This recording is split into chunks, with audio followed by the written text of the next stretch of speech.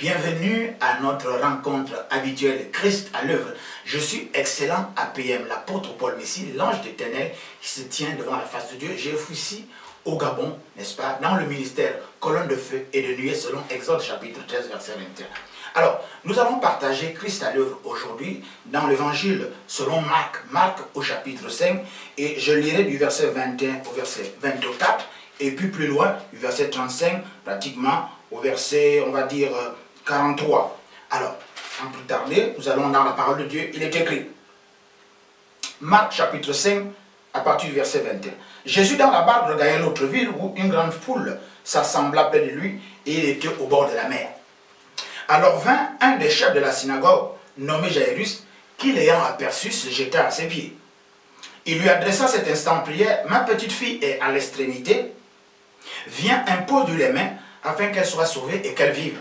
Au verset 24, Jésus s'en alla avec lui et une grande foule le suivait et le pressait. Nous ferons un bon directement au verset 35. Comme il parlait encore, survint un des, chefs, le chef de la synagogue, des gens qui dirent ta fille est morte, pourquoi importuner davantage le maître? Au verset 36, mais Jésus, sans tenir compte de ces paroles, dit au chef de la synagogue, ne crains pas, crois seulement.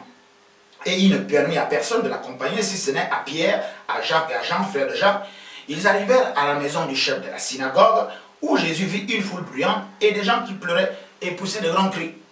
Au verset 39, il entra et leur dit, pourquoi faites-vous du bruit Et pourquoi pleurez-vous? L'enfant n'est pas morte, elle dort.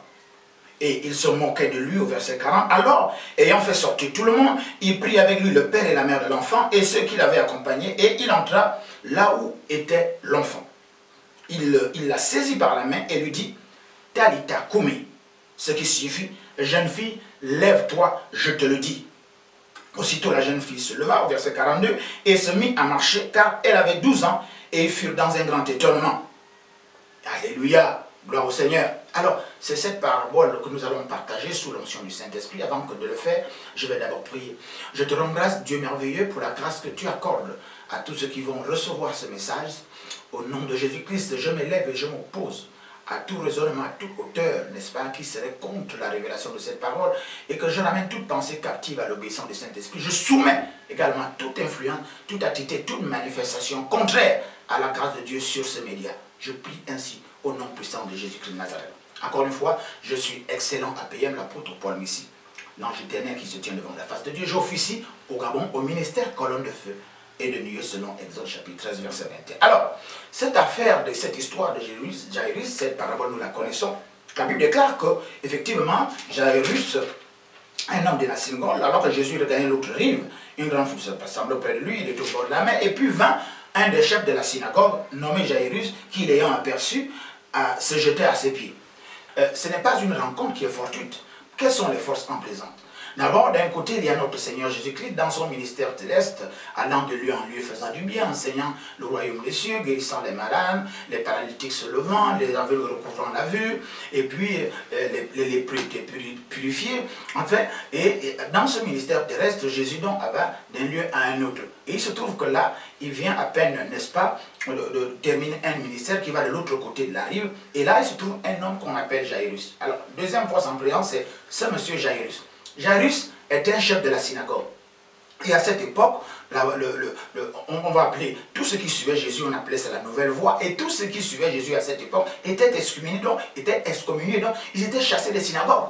Donc vous voyez, un des chefs de la synagogue, lui-même en personne se déplaçait et allait vers Jésus. Et comme ça, la Bible déclare que Jésus était toujours entouré de ses disciples et une grande foule qui le pressait, qui le suivait. Donc cet homme qui était donc connu, puisque c'était un des chefs de la synagogue, et c'est la synagogue qui avait vos chapitres à cette époque, alors il vient là, n'est-ce pas, on donne son nom, monsieur Jairus, il vient devant Jésus-Christ, ayant aperçu, il se jette à ses pieds, tranquillement. Voilà un peu qu'est-ce que cet homme a pu subir comme pression, ou plutôt qu'est-ce qu'il se passe, qu'est-ce qui se passe. Il se trouve que, pour Jairus, il y avait un sérieux problème. Sa fille, sa petite fille, il le dit, est au bord, à l'extrémité, sur le point de mourir, qui est malade, sur le point de mourir. Et, certainement, il a dû consulter, euh, euh, on va dire, on va un peu sans vouloir paraphraser, il a dû consulter les devins de son époque, il a dû consulter les guérisseurs de son époque, il a dû consulter les prêtres de son époque, mais rien n'y fit, il n'a pas trouvé de solution. Donc cet homme-là, qui était respecté, cet homme, un des chefs de la synagogue, n'est-ce pas, qui était connu, va se départir de, on va dire, de, sa personnalité, de son renom, de, de, son autorité, et il va venir directement comme cela se jeter devant le Seigneur Jésus-Christ. Ça veut dire, premièrement, il le connaissait parce qu'à cette époque, tout le monde le connaissait, connaissait Jésus. Et puis, il a très bien compris que Jésus-Christ était la solution à son problème, n'est-ce pas? Et voilà, il, s'est dit, comme on dit chez nous, mort, mort, vivant, vivant, euh, peu importe, moi, tout ce que je veux, c'est la solution. Donc, euh, euh, il, n'a pas pensé à sa personnalité, il n'a pas pensé à sa renommée, il n'a pas pensé qu'est-ce que les gens diront, il n'a pas pensé à sa position, mais il voulait simplement, il avait un, il avait un désir profond, il voulait que sa fille, n'est-ce pas, soit guérie, il voulait que sa fille soit sauvée, c'est ce qu'il est en train d'expliquer. Et la Bible déclare qu'il vient, il se jette à pied, c'est-à-dire qu'il vient adorer Jésus de tout de go comme cela. Il vient, quelqu'un qui vient se jeter au pied, donc il reconnaît qu'il est le maître, il reconnaît qu'il est Dieu, il l'adore simplement. Et ce n'est pas n'importe qui Jairus, c'est quelqu'un qui effectivement qui était rompu de la chose, n'est-ce pas, de la news, de la connaissance, n'est-ce pas, des Écritures. Mais il voit en Jésus-Christ pas ce qui est forcément euh, euh, euh, que les gens pensent, mais il voit en Jésus-Christ quelqu'un qui a la solution, quelqu'un qui serait effectivement la solution à son problème. La Bible est claire, il se jetait il adressa une instante prière. Il dit ceci, ma fille à l'extrémité vient imposer les mains afin qu'elle soit sauvée et qu'elle vive. Oh, c'est extraordinaire.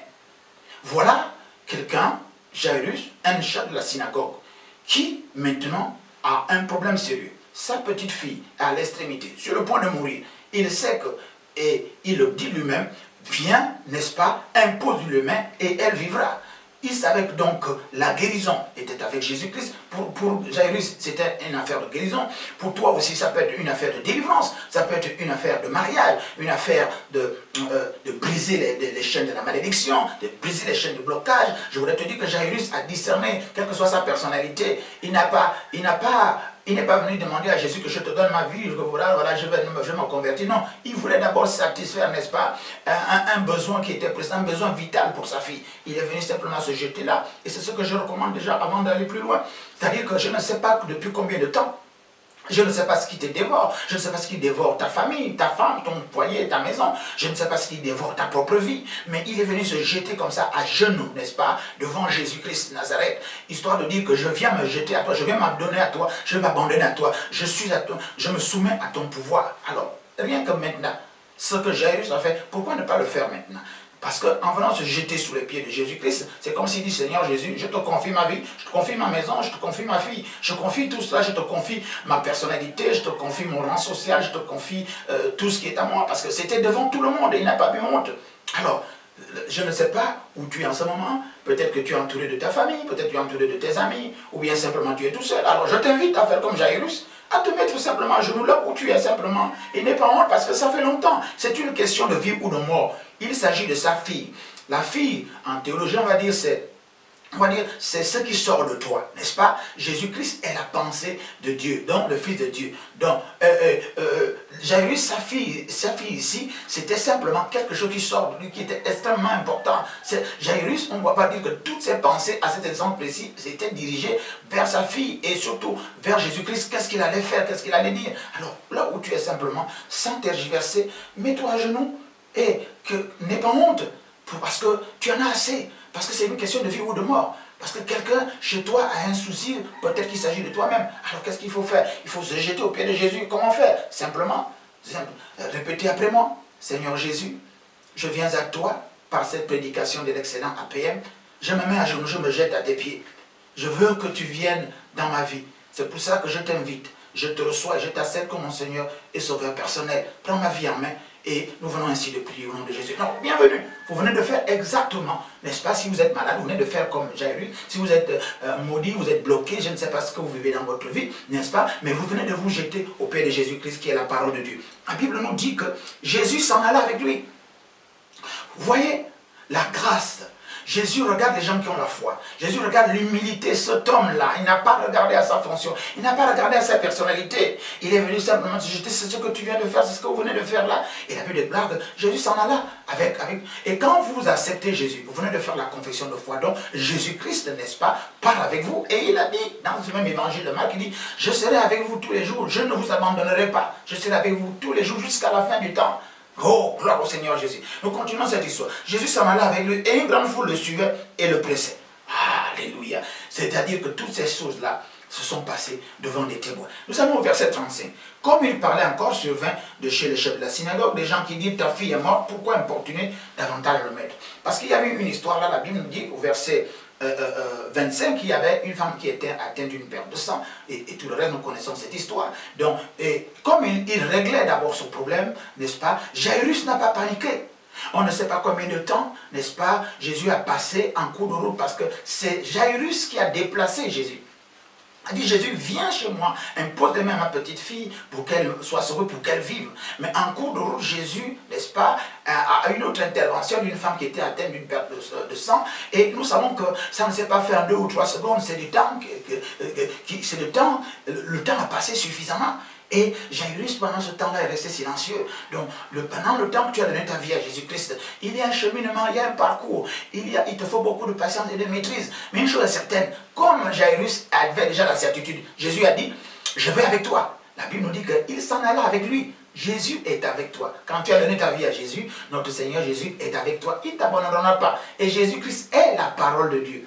Commencement était la parole, et la parole était avec Dieu, et rien ne s'est fait sans elle, et en elle était la vie. Et la Bible nous dit également dans les prophètes, comme Esaïe nous dit, la parole de Dieu ne retourne pas sans avoir accompli ses desseins. Et Jésus-Christ est la parole qui s'est faite chez. Jésus-Christ allait donc chez Jairus pour voir effectivement, à cause de l'humilité, à cause de la foi, à cause simplement que Jésus, euh, euh, Jairus, là, on va dire simplement l'a adoré, il est venu se jeter à ses pieds. La Bible déclare qu'il y a des gens alors qu'il allait là-bas, il venait de régler le problème, euh, il venait de guérir la femme qui avait la perte de sang. Il y a des gens qui reviennent de chez Jairus, n'est-ce pas, et qui disent, ben, ta fille est déjà morte, c'est inutile d'importuner euh, davantage le maître. Oui, il y aura toujours des gens alors que vous venez donner, votre vie à Jésus, et alors que vous priez, alors que vous adorez, alors que vous louez le Seigneur, alors que vous fréquentez une église du Dieu vivant, alors que vous avez beaucoup de foi, il y aura toujours des gens qui seront là pour vous dire que votre projet, c'est pas la peine d'aller prier, votre projet n'est plus viable, c'est pas la peine d'aller prier, votre fille va mourir, pas la peine d'aller prier, votre mari, euh, votre mariage est déjà par terre. Il y a des gens qui vous diront, c'est pas la peine de croire, c'est pas la peine de faire ceci, c'est pas la peine de faire des offrandes, pas la peine de se réveiller la nuit, pas la peine de louer à l'église. Il y a toujours des gens qui disent, c'est pas la peine et c'est trop tard parce que votre enfant est mort, parce que votre fille est morte, parce que votre projet est mort, parce que euh, euh, votre vision ne sera plus. Il y a des gens qui seront toujours là. Et la Bible dit là au verset 36, mais Jésus, sans tenir compte des paroles dites au chef de la synagogue, il leur dit, ne crains point, ne crains pas, crois seulement. C'est le thème de mon exhortation. Ne crains pas, crois seulement. Et je suis à Marc chapitre 5 et au verset 36. Ne crains pas, crois seulement, monsieur. Croyez seulement, monsieur. Crois seulement ma soeur, crois ma fille, au nom de Jésus-Christ de Nazareth. La Bible nous dit que Jésus n'a pas tenu compte de ces paroles. En réalité, qu'est-ce que ça veut dire? Ça veut dire que ce n'est pas à la parole de Dieu qui a créé toutes choses de tenir compte des situations que nous traversons. Non, ce sont des situations qui doivent tenir compte de la présence de Jésus-Christ de Nazareth. Ce n'est pas à la parole de Dieu de tenir compte des, événements, de, tenir compte de, tout ce a, que les humains ont fait, peu ou prou pour faire du bien ou pour faire du mal. Non, ce sont des humains qui doivent tenir compte de la présence de la parole de Dieu. Et il vient dire à Jésus, euh, euh, voilà, il vient dire à, d'abord, ils ne se sont pas adressés à Jésus, ils, ils se sont adressés à Jairus, il dit non, c'est pas la peine d'importuner encore le Seigneur, ta fille est morte. Et Jésus n'a pas tenu compte de cela. La parole de Dieu ne tient pas compte effectivement des découragements des personnes. La parole de Dieu ne tient pas compte des ajustements des personnes. La parole de Dieu ne tient pas compte de tout. Non, c'est à l'homme de tenir compte de la, parole de Dieu. C'est à l'homme de s'allier sur la fréquence, comme qui dirait la parole de Dieu. C'est à l'homme de s'allier sur le réseau de la parole de Dieu. C'est à l'homme d'être connecté à la parole de Dieu. La parole de Dieu, elle est unie, elle est la même, elle ne change pas. Hébreu 13 nous dit, Jésus-Christ est le même hier, aujourd'hui, éternellement. La parole de Dieu ne change pas. Elle ne connaît pas l'homme d'une seule variation. Elle est au commencement de toutes choses. Elle est essence et substance. Donc, ce sont les hommes, les événements, les circonstances qui doivent tenir compte de la parole de Dieu. La Bible déclare qu'il ne permet à personne de l'accompagner si ce n'est à Pierre, Jacques, Jean et tout le reste. Et histoire de dire également que quand vous êtes dans des situations un peu compliquées, il est bon de s'entourer des gens qui ont la foi. Il est bon de, de s'entourer des gens qui sont, comme qui dirait, qui te sont attachés, qui sont euh, euh, régulièrement avec toi, des gens en qui tu peux avoir confiance. Nous avançons encore. La Bible déclare verset 38. Ils arrivèrent à la maison du chef de la synagogue où Jésus vit une foule bruyante et les gens qui pleuraient et poussaient des grands, des cris. Regardez, c'est souvent ce qui arrive autour de nous.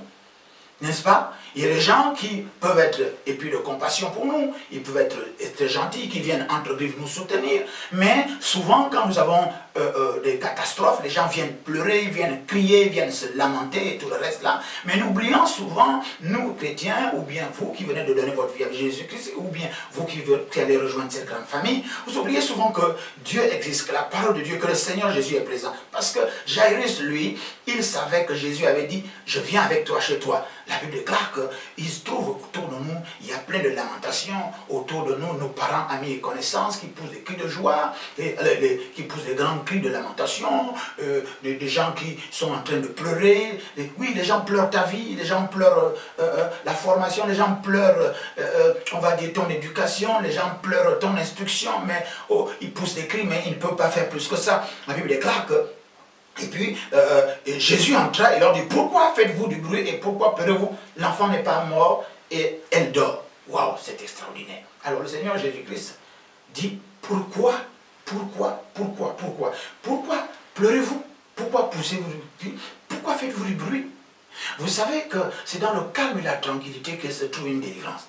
Mais souvent, autour de nous, avec nous, de façon consciente ou inconsciente, il y a des gens qui font trop de bruit. Ils racontent beaucoup d'histoires, ils racontent beaucoup d'allégories, ils racontent beaucoup d'anecdotes. Il y a des gens, il y a trop de bruit, il y a, des cris, il y a des chuchotements, des critiques, des calomnies, des murmures. Il y a tellement de bruit. Il faut sortir de ce milieu où il y a trop de bruit.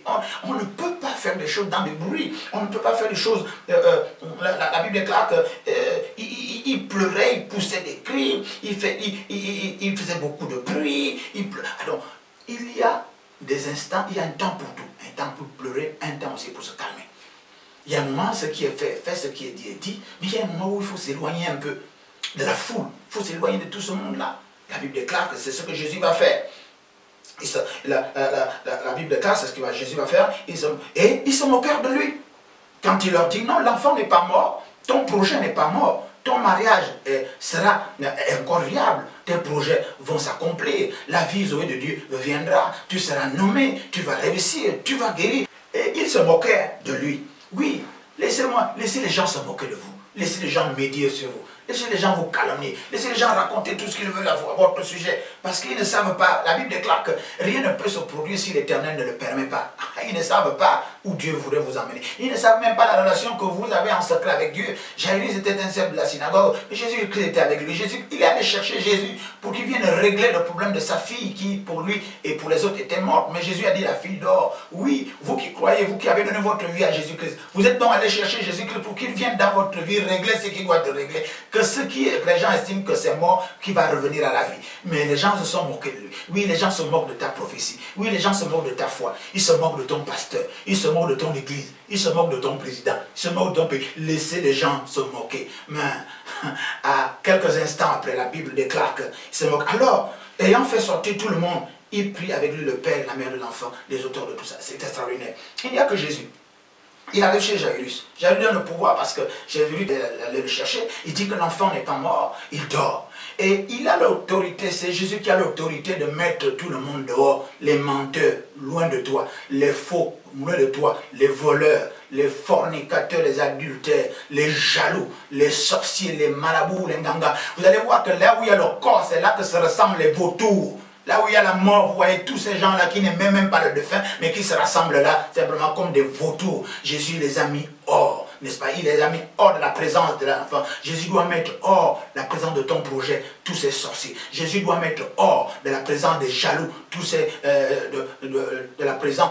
Jésus doit mettre, autant pour moi, Jésus doit mettre loin, n'est-ce pas tous les jaloux, loin de ton projet, loin de ta vie, loin de ton... C'est Jésus qui a l'autorité Jésus a l'autorité. Il a simplement mis tout le monde loin de cet enfant. Jésus a l'autorité de, de les sorciers, les marabouts, les jaloux, les, les féticheurs et tous ceux qui sont là, autour là, comme rendus, comme des vautours, n'est-ce pas, autour de ton projet, qu'ils estiment qu'il il est mort. La Bible déclare que finalement, qu'est-ce que Jésus va faire? Il prit l'enfant de mère et il avait accompagné. Et il entra là où était l'enfant. Laisse Jésus. Pendant tout ce temps-là, Jairus est allé juste inviter Jésus dans sa vie. Jairus n'a plus rien dit. Tu as donné ta vie à Jésus, tais-toi. C'est dans le silence et la tranquillité que sera ta délivrance. Exode 14, 14 nous apprend que maintenant les Jésusiens que vous voyez là, vous ne les verrez plus. Quant à vous, gardez, le, gardez simplement le silence. Parce que vous allez voir la délivrance que l'Éternel va accomplir. La Bible déclare qu'il continue de se moquer de lui. Les amis dehors. Il est entré là où se trouve l'enfant. Laisse Jésus-Christ rentrer dans ton cœur. Laisse Jésus-Christ rentrer dans tes finances, dans ton foyer, dans ta maison, dans ton travail, dans ta famille. Laisse Jésus-Christ rentrer là où est ton projet. Laisse Jésus-Christ rentrer au fond de toi et prendre le contrôle de toute situation. Jésus ne dit rien. Jésus s'est donné. Il s'est adoré. Il s'est jeté. Il a dit Jésus, je m'abandonne à toi. C'était ça son geste. Et Jésus est allé au bout, n'est-ce pas, de cet acte-là. La Bible déclare que Jésus est rentré, n'est-ce pas Et il a saisi par la main et dit Talita Kumi. Tu as dit, jeune fille, lève-toi, je te le dis. C'est poussé par le Saint-Esprit que les hommes de Dieu parlent de la part de Dieu. Je suis excellent à PM, l'apôtre Paul Messi, l'ange des ténèbres qui se tient devant la face de Dieu. C'est rempli du Saint-Esprit que j'ordonne maintenant, au nom de Jésus, à ton projet, Talita Koumi. J'ordonne maintenant à ton foyer, Talita Koumi. J'ordonne à ton mariage, Talita Koumi. J'ordonne à ton commerce, Talita Koumi. J'ordonne à tout ce qui être dans ta vie, tes enfants et tout ce qui t'appartient maintenant là. Pour tout ce pourquoi on se moque de toi, j'ordonne poussé par le Saint-Esprit au nom de Jésus-Christ Nazareth que Talita Koumi, tout ce qui te concerne. Oh, Alléluia. La Bible déclare que je lève toi. Aussitôt l'enfant se leva et se mit à marcher. Regardez la démarche de Jairus. Du début à la fin, il n'a rien dit. Il allait exposer son cas. Il est venu se jeter devant Jésus. Il a adoré. Jésus a dit, je viens avec toi malgré les péripéties, malgré les moqueries, malgré les railleries. Jairus n'a plus rien dit. Il avait eu confiance en Jésus-Christ. Oui, il est temps d'avoir confiance en Jésus-Christ. Mais à cet instant précis, maintenant, Jésus a vu que Jairus était sérieux. Jairus était humble. Jairus avait confiance en lui. Jairus avait la foi. Il est rentré. Il a renvoyé tout ce qu'on devait renvoyer. Tout ce qui pleurait, tout ce qui était là euh, autour, n'est-ce pas, du projet, autour de l'enfant de Jairus. Il est rentré là où était l'enfant. Il a pris l'enfant par la main. Il est tête à C'est ce que je venais de dire. C'est ce que la parole de Dieu, poussée par le Saint-Esprit, vient de dire. C'est ce que la parole de Dieu, c'est ce que Jésus vient de te dire maintenant là. Au nom de Jésus-Christ, tout ce qui se concerne, Talita Koumi, ça dit lève-toi et c'est Jésus qui te le dit. La Bible déclare que l'enfant s'est levé, n'est-ce pas, et se leva et se mit à marcher. Et elle avait 12 ans et fut tout dans un grand désordre. L'enfant s'est levé, pas seulement, il s'est mis à marcher. Marcher veut dire progresser, s'épanouir, se développer, grandir, grossir et effectivement avoir de l'influence. Alléluia. Shalom, shalom. Que la paix soit avec vous. Et les gens étaient dans l'étonnement. Oui, je terminerai par cette parole. Les gens seront étonnés de ta délivrance les gens, beaucoup de gens seront étonnés de ton mariage. Ils seront étonnés que tu puisses enfanter. Ils seront étonnés que tu puisses te développer. Ils seront étonnés que tu construis des maisons, que tu puisses voyager. Ils sont, beaucoup de gens vont t'étonner de voir que tu vas t'épanouir et de changer de vie. Simplement, pourquoi? Parce que simplement, quelqu'un, Jairus, le père de, ce, de, de, de, cet enfant, est allé chercher Jésus. Comme toi-même, tu as donné ta vie à Jésus-Christ de Nazareth, qui est venu et qui est rentré là où se tout ton projet. Les gens seront dans l'étonnement. Oui, tu vas étonner les gens. Oui, vous allez étonner votre environnement. Vous allez étonner tous ceux qui sont dans votre arrière. Au nom de Jésus-Christ de Nazareth. Alléluia. Je vais encore prier avant qu'on se sépare. Voilà, c'est ce que je voulais partager avec vous. Au nom puissant de Jésus-Christ de Nazareth. Talita Kumi. Toi qui étais malade, que ta santé se lève maintenant, Jésus te le dit. Jésus commande maintenant la bénédiction de se lever. Talita Kumi. Jésus commande à la fécondité de se lever. Talita Kumi dans ton foyer. On se moque de toi, tu ne peux pas avoir, euh, ton ventre est mort, ton ventre, tu ne peux pas enfanter.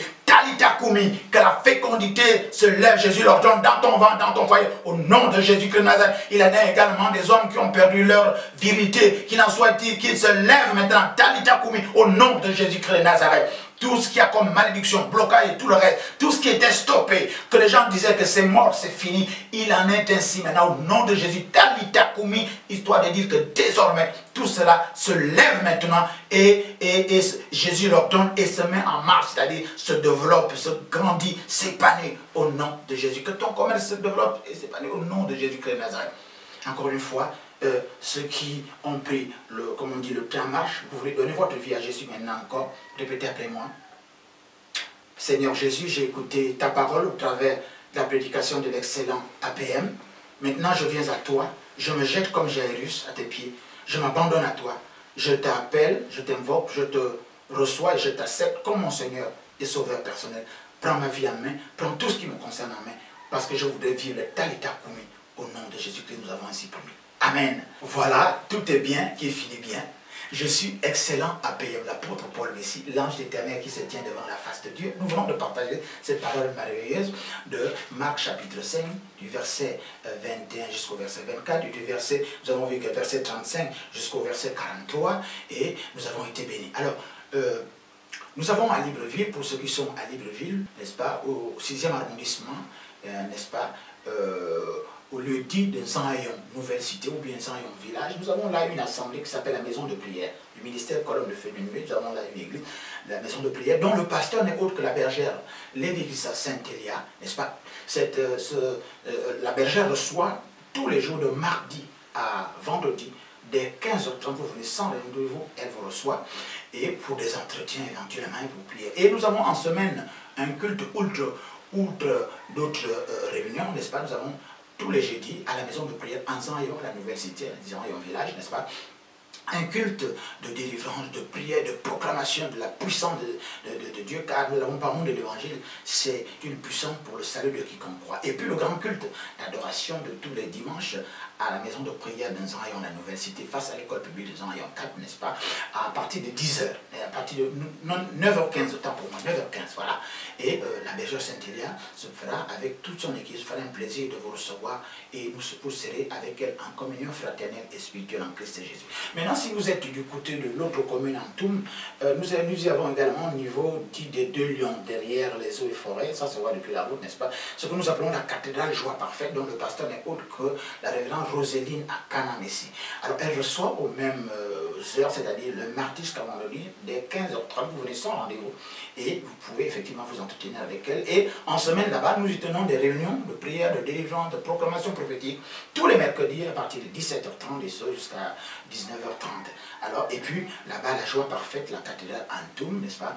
Euh, euh, Le grand culte d'adoration est à partir de 10h, de 10h jusqu'à midi, voire midi 30, et vous serez effectivement en communion spirituelle avec les autres. Quant à moi, APM, excellent APM, euh, mais vous voulez me joindre, mes numéros s'affichent sur cet écran, 06 63 06 40, 05 32 58 80, précédé du 41 si vous êtes à l'extérieur. Vous pouvez m'appeler, hein, je décroche, et si vous n'avez pas les unités, Dieu me fait grâce de pouvoir avoir les unités. Vous me bipez simplement, moi je vous rappelle, nous pouvons nous entretenir correctement.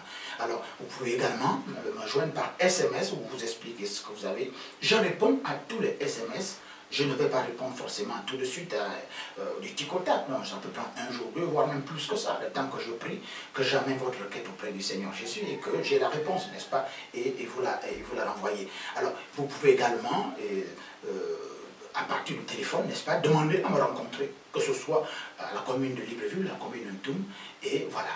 À très bientôt. Shalom, shalom. Que Dieu vous bénisse.